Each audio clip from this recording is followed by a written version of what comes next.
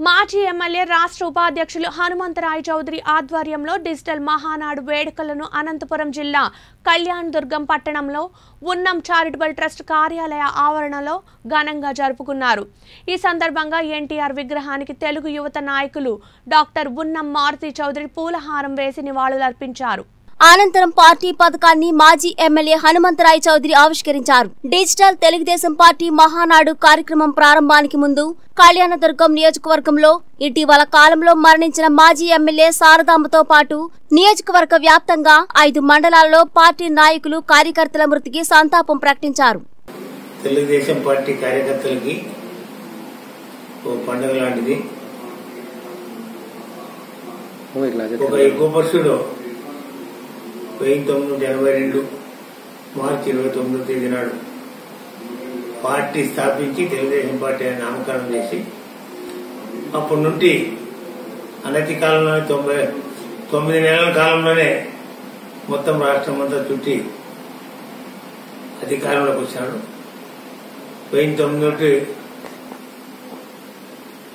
ఎనభై మూడు జనవరి తొమ్మిదో తేదీ నాడు ప్రమాణ స్వీకారం చేయడం జరిగింది. ఆ మహాపురుషుని యొక్క జన్మదినాన్ని మే ఇరవై ఎనిమిదో తేదీ నాటి అప్పుడు ఆయన ఉన్నప్పటి నుండి కూడా మేము మహానాడు పండుగ చేసుకున్నాం. ఎన్నో సార్లు ఎన్ని రకాల ఎన్నో ఎన్నో రకాల అంటే విశాఖపట్నం పోయాం. తిరుపతికి ముందు మహాదాబు పోయినాం. తిరుపతి ఇవన్నీ కూడా విజయవాడలో హైదరాబాద్లో ఎన్నో సార్లు చేసినట్టుంది. కాకపోతే ఇది కొత్తగా ఈ సంవత్సరము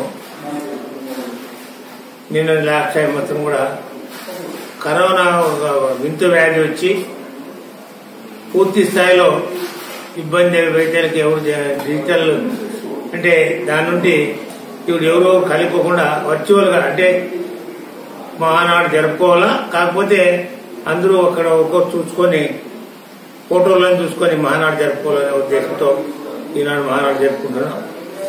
ఈ కరోనా వ్యాధితో సక్రమం చాలా మంది చనిపోతున్నారు. అది కూడా వాళ్ళు చేయరు ఇంకోరు చేయలేరు. అదే నిదర్శనము. మేమైతే ఇక్కడ ఉన్నటువంటి కోవిడ్ సెంటర్ కానీ మనం నిరంతర కరెంటు కోసం సప్లై కోసము ఒకటి జనరేటర్ కూడా ఇచ్చాము. ఆడికి నా కుమారుడు అది ఇచ్చిండే కూడా ఆడికి పోయేదానికి కూడా ఏం నీ గంట పోలే నువ్వు ఎమ్మెల్యేను సందర్శించినా ఇంకో మంత్రి సందర్శించి మాకు అభ్యంతరం నువ్వు పోకుండా మేము కూడా పోకుండా ఉంటే కరెక్ట్ కాదు. రాష్ట్రం అంతా కూడా అవిధంగా ఉంది.